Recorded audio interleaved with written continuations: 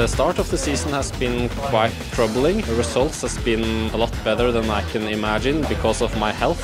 Missing the Norwegian team for Oberhof and then yeah, making the comeback here, winning the relay Thursday and then winning the sprint today. I think I will I will go to a plane to Hollywood and uh, ask them to write this script for a film and for sure it will win some kind of Oscar. I will be the singer uh, in the movie.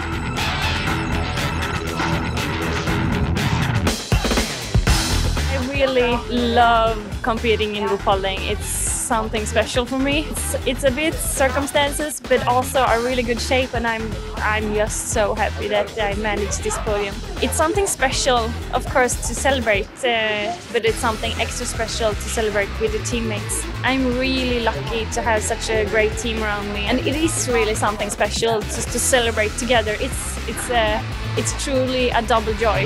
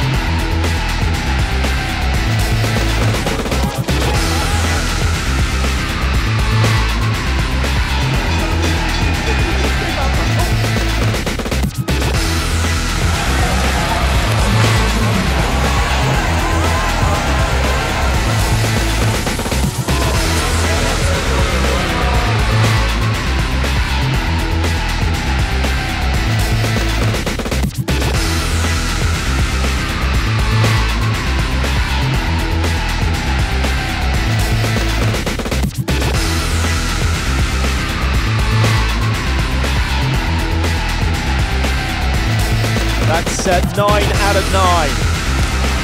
12 out of 12, but they all going 5 with 5. They're all